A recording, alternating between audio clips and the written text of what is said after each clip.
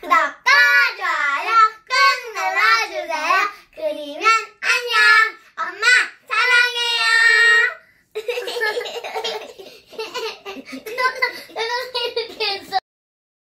안녕하세요. 건양아 원장입니다. 너무 오랜만에 뵙죠. 제가 좀 많이 바빠가지고 영상 업로드를 소홀히 했네요. 죄송해요.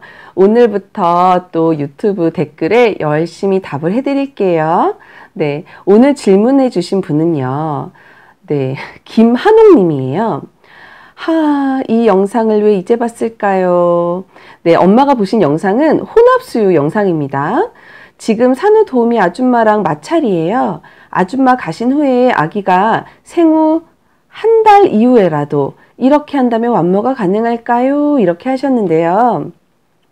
우리 엄마들 산후 도우미랑 마찰 있는 분 되게 많죠. 네, 어, 제가 새 아이를 낳고 산후 도우미 분하고 저는 마찰이 없었어요. 왜냐하면 이제 제가 전문가다 보니까 산후 도우미 분들이 아기를 아예 보려고 하지 않았고 제가 제 방에서 아이를 데리고 네 거의 뭐 아기와 모유 수유를 열심히 하고 필요할 때만 방문을 열어서 아주머니한테 요청을 했거든요. 지금 엄마들 어, 산후 도우미 분이 오셔서 엄마를 도와는 주고 있는데 엄마 마음에 너무 불편한 마음이 계속 들고 내가 원하지 않는 방향으로 산후 도우미 선생님의 의견대로 막 육아가 흘러가면 아무리 그분이 열심히 도와줘도 항상 마음이 불편해요. 그래서 산후 도우미 분께 잘 얘기하셔서 엄마들이 원하는 방향으로 진행을 하셔야 돼요. 그러려면 엄마들이 알아야 돼요. 엄마들이 아무것도 모르고 아기 육아에 대한 지식이 하나도 없으면 올바른 요청을 할 수도 없을 뿐더러 엄마의 의견이 종종 묵살이 되거든요. 그래서 엄마들이 꼭 배우셔야 되고 공부해야 되고 그래서 내가 앞으로 완모를 하고 싶다면 지금 나는 이러한 어려움도 이겨내고 이것을 이모님이 나를 도와줘서 내가 이 과정을 잘 수행할 수 있도록 이끌어줘야 된다. 도우미 분이 계약이 끝나서 돌아가시고 나서도 아이를 담당하는 것은 엄마기 때문에 엄마로서 내가 지금 완모를 위해서 이런 길을 가기를 원하니 도우민 선생님 도와주세요 라고 얘기를 해야 돼요. 너무 의견이 강한 분도 있지만 엄마가 적극적으로 공부를 한 후에 내가 공부했더니 이러이런 뭐 제 영상을 활용해도 되죠. 이모님 제가 이 영상을 봤는데 이 영상에서 이렇게 하면은 좀 전량이 늘어난대요. 저 이거 하고 싶어요. 그러니까 도와주세요. 그러니까 저는 아기에게 무조건 분유를 계속 먹이는 게 아니라 우선 직수한 후에 우선 직수한 후에 아기를 깨워서 다시 이쪽 가슴 직수한 후에 아기를 깨워서 분유 보충을 적당량 하고 아기의 수유텀을 두세 시간 안쪽으로 해서 아기가 다시 일어나면 다시 식수를 하고 이런 방향으로 가고 싶다 이렇게 얘기를 하셔야 돼요. 산후 도우미 선생님하고 얘기를 할 때는 먼저 저의 하루 수유 횟수는 총몇 회입니다. 그 중에 이모님과 함께 있는 시간은 낮에 요수유 텀, 요수유 텀, 요수유 텀, 요수유 텀인데 지금 어, 아기가 한 달 됐다 그랬죠? 한 달 되는 아기의 수유텀은요, 분유를 먹이지 않으면 절대 3시간이 안 와요. 그러니까 모유를 먹인다 그러면 2시간이 가장 베스트죠. 1시간 반에서 2시간 정도밖에 안 오거든요.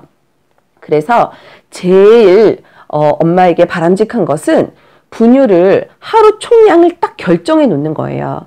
어, 만약 어제와 그제 아기가 먹은 총 하루 분유량이 약 뭐 300이다 혹은 400이다 그러면 이것을 일정하게 먹인 게 아니라 뭐 아주머니가 있을 때 갑자기 훅 먹인다거나 또 어떤 시간대 뭐 모유만 하다가 또 뭐 밤에 갑자기 분유를 확 먹인다거나 이렇게 하면은 모유 상승에 별로 좋지가 않거든요. 그래서 400ml다. 그럼 이 400ml를 엄마 하루 총 수유 횟수로 나눠봐요.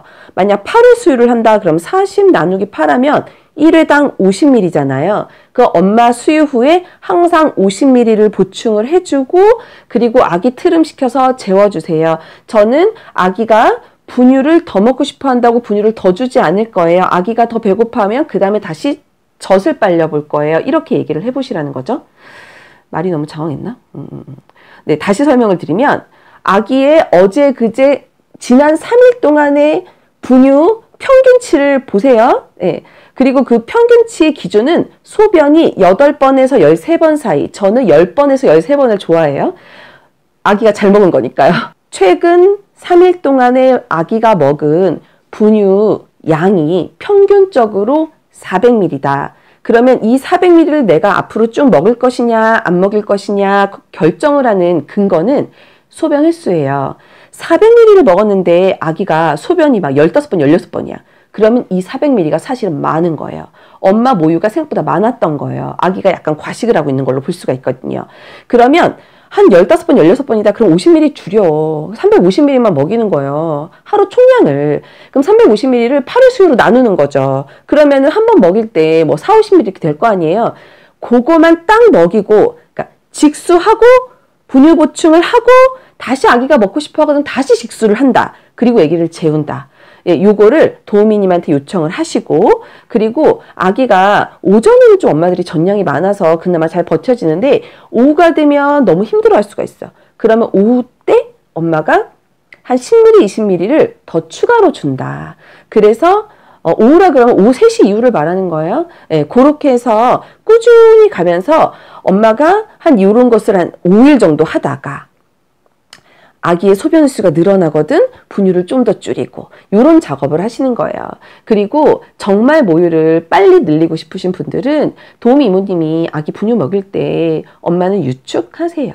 그리고 아기가 먹다 맨날 잠드는 애기 같은 경우는 이모님한테 잠깐 안아달라 그러고 유축해서 추가로 더 먹여보세요. 그러면 늑간신경으로 계속 애가 젖받는 자극이 가고 유축기에 자극이 공기압에 자극이 가기 때문에 전량이 늘 수 있습니다. 아셨죠? 네, 엄마들에게 도움이 됐으면 좋겠어요. 사실 혼합 수유가 제일 힘들거든요. 힘내세요. 화이팅! 아이고, 힘내세요.